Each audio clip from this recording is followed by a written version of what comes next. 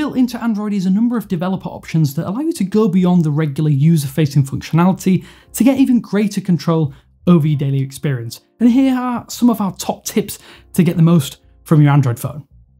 Thanks for watching 9 to 5 Google here on YouTube. Remember to thumbs up, hit subscribe and then tap the bell icon to be among the first to watch our upcoming videos. So first and foremost, developer options can sometimes be known as developer mode on some Android phones out there. These added controls are somewhat obviously not available right out of the box and designed to let developers, and by extension you, the user, configure system behaviours to help profile and debug app and system performance, and some of them we really do think you might want to take a look at. Before we start though, you'll need to go to Settings, System, About Phone, tap Build Number around about seven times. Now enter your PIN or pattern to activate this. To access the wider developer options or developer mode, you probably need to head back into Settings, System, and Developer Options. From here, we can actually start making tweaks, so let's get into it. When you plug your Android phone into a PC or laptop, there is a predefined process that will run automatically. This can vary from phone to phone, but thanks to Android developer options, you can adjust this to suit your own personal preferences. You can choose between file transfer mode, USB tethering, act as a digital interface for audio with the MIDI function, or picture transfer with PTP mode. You can also set it so that your Android phone doesn't do any transfer or transfer any data at all and will just charge if that's supported. And this is a real time saver if you only plug in your phone into a computer or laptop to remove files and this can be enabled by heading into settings system, developer options and default USB configuration. From here, you can just set up whichever of these first options you prefer and it will run as soon as you plug your phone into a computer. The default split screen mode in Android is excellent at allowing you to truly multitask on your phone. Sadly though, it doesn't work with every single application for one reason or another. Thanks to a toggle though within the developer options section in Android 12 and Android 13, you can actually force split screen mode even for unsupported applications on your phone or tablet. You might encounter some issues though with unsupported applications, but this is especially useful if, as most apps do actually scale accordingly to your screen size anyway. To enable, head to Settings, System, Developer Options, and force activities to be resizable. Even if your phone has a high refresh rate screen, it might not always be running at that maximum rate. You might notice some frame drops here and there where the refresh rate dips to lower speeds. Often this is limited by the applications on your device, but the Android system will do this often to save battery or even improve overall device performance. That said, you might have a 90, 120Hz or even a higher refresh rate screen, but thanks to the developer options section within Android, you're able to force your device's peak refresh rate, whatever that happens to be, to be used across the entire area of your system. To enable this, head to Settings, System, Developer Options, now force peak refresh rate and toggle this on. Naturally, your smartphone knows a heck of a lot about you. Some might say too much, but if you're worried about your privacy at certain points, then there is a neat quick toggle to disable all of your on-device sensors, including GPS, microphone, camera, accelerometer, gyroscope, proximity sensor, and even magnometers if they're available.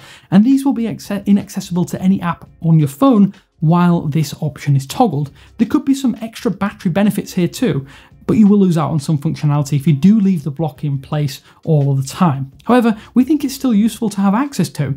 To add it to your device or the quick settings panel on your device, just head to Settings, System, Developer Options, Quick Settings Developer Tiles and find the Sensors Off option and enable that. This will actually be added to the first position in your quick settings panel or the notification shade but you can move this to wherever you see fit using the edit button.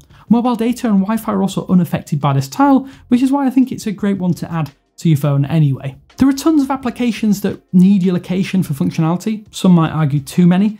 There are tons of apps though out there that allow you to fake your current location, which can be useful for things like games that require location for certain in-game unlocks or features. A prime example is Pokemon Go, or even some streaming apps when you want to access geo-locked content you can use location spoofing applications from the Play Store to default to a specified region and with the developer options tiles too, this means that you can place your Android anywhere on the planet with zero problems. To enable this, head to Settings, System, Developer Options, and now select Mock Location App. Now you can select your preferred application if you do have one installed. If not, head to the Play Store, find one. Now you should be able to add that to your preferred location application via the developer options. Android seems to get a lot of undeserved criticism for the quality and consistency of things like animations and the perceived smoothness of the system. In recent years, things have improved quite dramatically with updates and system uh, UI improvements, but thanks to the enhanced developer options mode, you can tweak your phone's animations if they're too slow or not slow enough for your liking. If you want to tweak animation speed, you'll need to head to Settings, System, Developer Options. From here, you can find three options that you can toggle to improve speed. There is Window Animation Scale, transition animation scale, and animator duration scale. All of these can be tweaked to suit your own preferences, but it's worth noting that 0.5x speed means faster, so smaller numbers actually mean faster animations. But play around with it to see how you find the animations and improve smoothness of your device. Battery life is another big complaint with any smartphone out there, and taking steps to potentially increase it is always worthwhile in our mind, so long as functionality isn't drastically impaired. One such function that might be worth disabling is Wi-Fi scanning. However, you can keep this enabled for quick Wi-Fi switching, but restrict how often scanning processes take place, which is something we think you should do. Wi-Fi scan throttling limits background apps from scanning Wi-Fi to once every 30 minutes. Without being activated, this can actually be as much as once every 15 seconds. In our opinion, we think this is a good middle ground if you don't want to disable the Wi-Fi scanning entirely. To enable this, head to Settings, System, Developer Options, and now Wi-Fi Scan Throttling. A dedicated dark theme or dark mode has been one of the best additions to Android in recent years. It still isn't perfect though, but thanks to a toggle found within developer options, you can force a dark theme even for unsupported Android apps and even certain system sections. As you would expect though, this can be quite buggy. Certain UI portions can become obscured or hard to decipher as a result of using this option, we would say use this functionality with caution as it can make some apps, as we mentioned, difficult to use correctly as you'd expect them to. If you want to enable dark theme everywhere though or force this, then head to Settings, System, Developer Options, and override Force Dark. Even when your phone is constantly connected to Wi Fi, mobile data will actually be active on your device for quick switching between networks. This is great if you're moving between networks on a regular basis, but for most people who tend to stay in one place for a long time, this can affect battery longevity.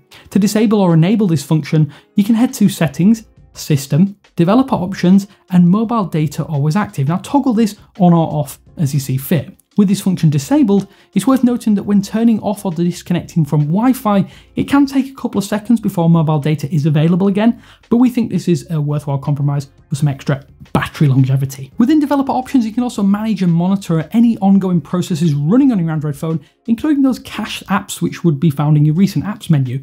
If your phone is running strangely or if you just want to get an idea of what is sapping at your device memory, then this dashboard is a useful place to visit and get a better idea of what's going on. You're able to stop any processes or applications from this pane if you wish. We want to show you this, so head over to settings, system, developer options, and running services. And this will just give you an idea of the current state of your Android phone and what is actually using your memory at any one time. So that's 10 of the developer options or enhanced developer options that we think you should know about. We want to know what you have been using in the developer options section and simply have to enable or disable right away on your Android phone. Is there something you literally cannot live without? Well, let us know down in the comment sections below. Hopefully, though, this has helped you eke a little more from your Android phone. But until next time, this is Damien with 9to5 Google saying thanks for watching, and I will speak to you later.